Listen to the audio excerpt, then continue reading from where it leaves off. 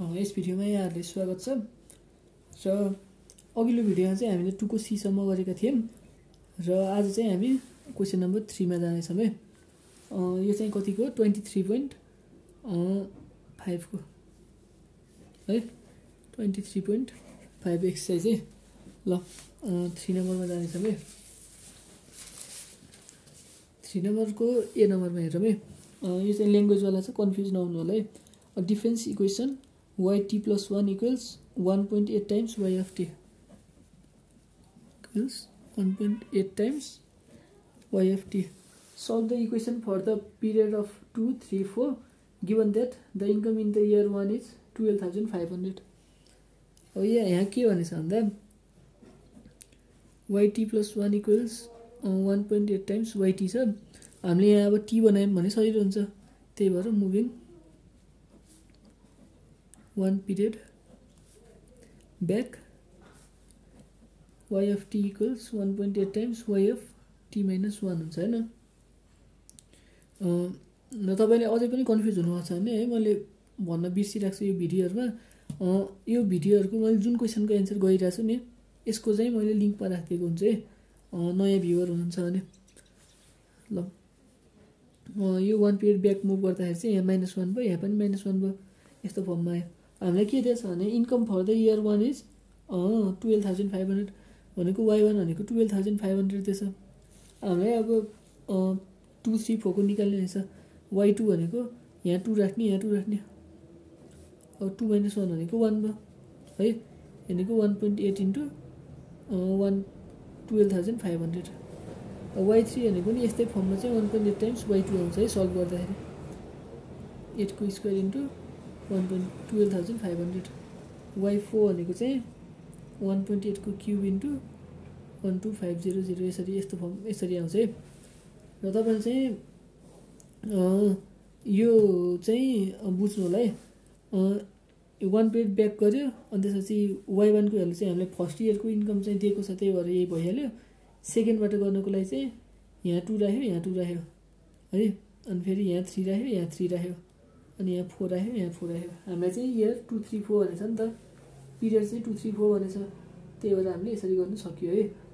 अब चाहिँ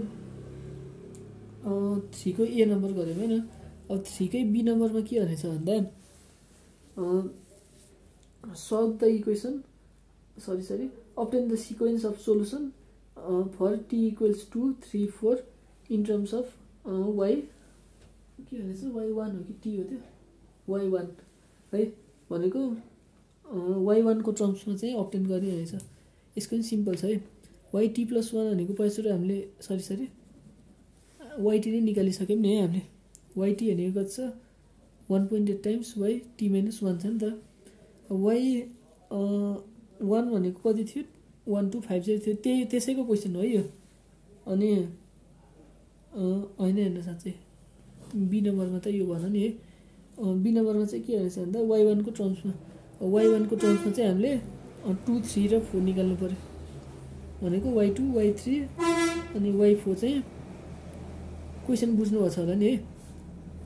हामीले चाहिँ वाइ टू वाइ थ्री र वाइ फोर चाहिँ in terms of y one निकाल्ने भनेर क्वेसनले भनेको है। र त्यसको लागि चाहिँ अब के गर्न सकिन्छ? Y two y three y four भइहाल्यो। वाइ टू है? पाइसकेपछि यहाँ वाइ टीको ठाउँमा टू राखौँ one point eight times y one हुन्छ। है? भइहाल्यो वाइ वानको टर्म्समा चाहिएको थियो। वाइ वानको टर्म्समा आइहाल्यो। वाइ टू भनेको one point eight into y two भइसक्यो। वाइ थ्री भनेको वाइ थ्री माइनस वान गर्दाखेरि वाइ टू हुन्छ है? यो भनेको वाइ टूलाई पनि वाइ वानको टर्म्समा लानु पऱ्यो नि त। एट अनि फेरि वाइ टूको ठाउँमा चाहिँ यो एट इन्टु वाइ वान है? बुझ्नु छ होला नि है? भनेको one point eight square into y one हुँदो रहेछ। वाइ फोर गर्नु पऱ्यो भने one point eight into y three हुन्छ। फोर माइनस वान गर्दा वाइ थ्रीको ठाउँमा त हामीले वान वाइ वानको टर्म्समा चाहिएछ। है in terms of y one त्यही भएर के गर्नु पऱ्यो वाइ थ्री भयो वाइ थ्रीको ठाउँमा यो लेखिदिने। वान पोइन्ट एट अनि त्यसरी वाइ थ्रीको ठाउँमा चाहिँ one point eight square into y one गर्दाखेरि one point eight cube into y one गर्ने। है?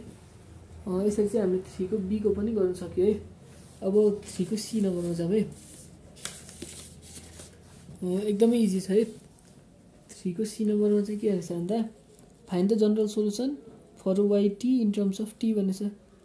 है यो भनेको त अहिले हामीले निकालिसक्यौँ हामीले क्वेसनमा चाहिँ खास y t plus one equals one point eight times y t दिएछ। हामीले चाहिँ general solution in terms of t भनेपछि वान पिरियड ब्याक मुभ गरिदिउँ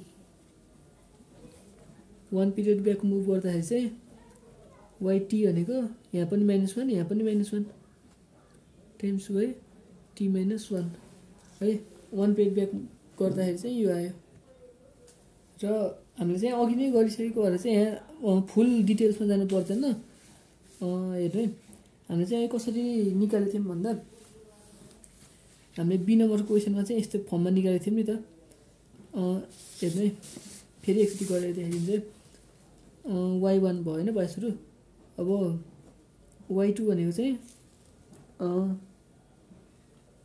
वाइ टू भनेको चाहिँ के के आएको थियो है वान पोइन्ट एट इन्टु अब यहाँ टू राख्यो भने टू माइनस वान गर्दाखेरि वाइ वान हुन्छ।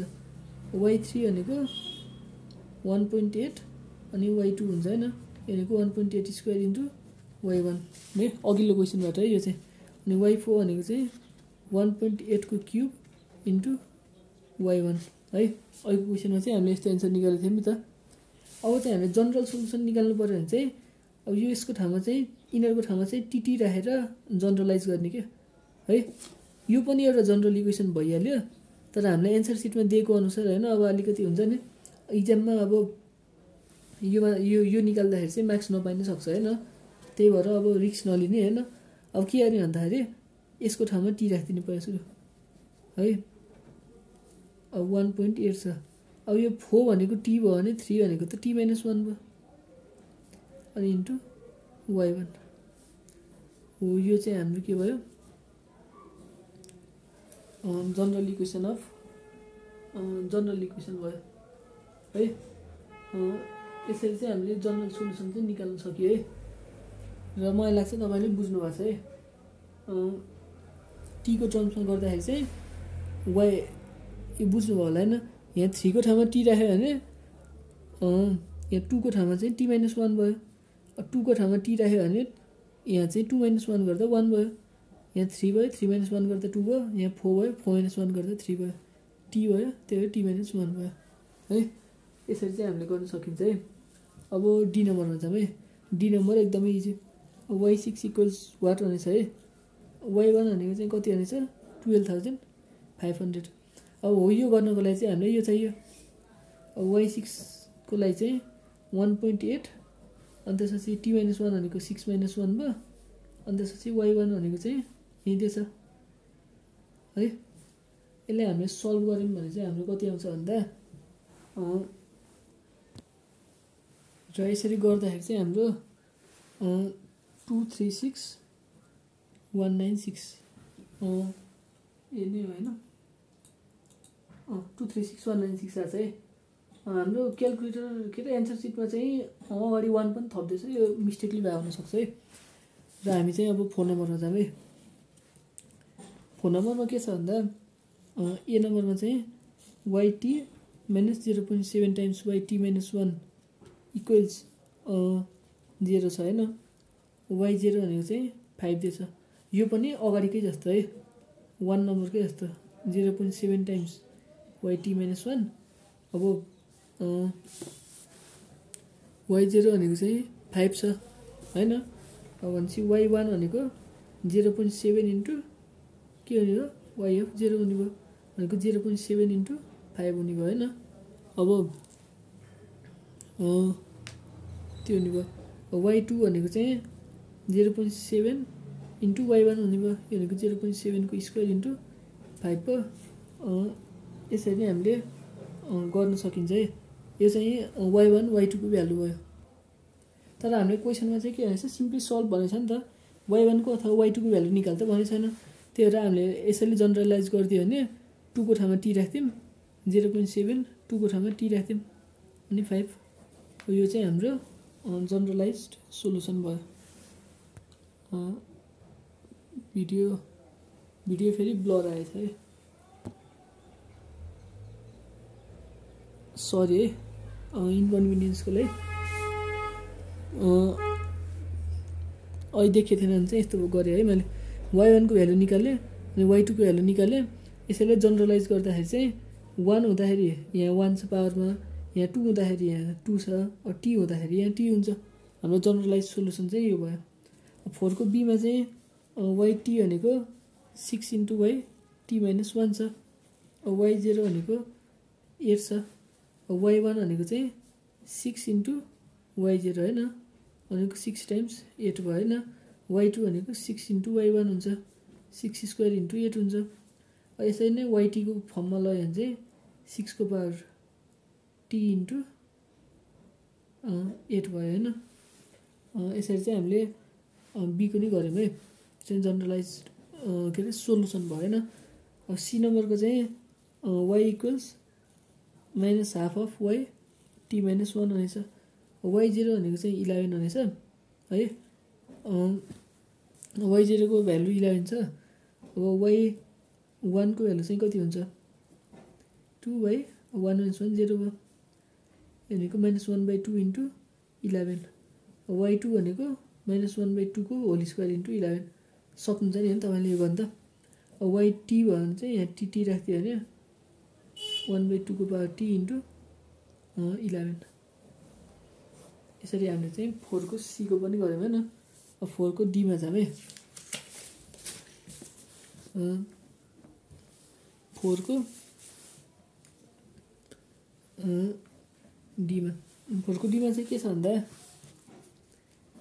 Y t plus one plus five times वाइको त्यो फाइभ होइन त्यो टी होला है इक्वल्स जेरो भनेछ अनि वाइ जेरो भनेको चाहिँ टुवेल्भ दिएछ है यसलाई चाहिँ हामीले यो भागलाई उता लगाऊँ equals minus five into y of t अनि त्यसपछि चाहिँ वाइ टी भनेको के हुने भयो minus five into y t minus one भयो दुवैतिर वान पिरियड ब्याक मुभ गर्दाखेरि यो गर्दाखेरि चाहिँ यो बुझ्नुहोस् होला है।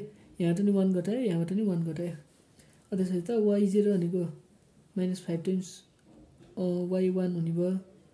होइन? सरी सरी वाइ टू भनेको चाहिँ टु माइनस वान गर्दाखेरि minus five times y one हुने भयो।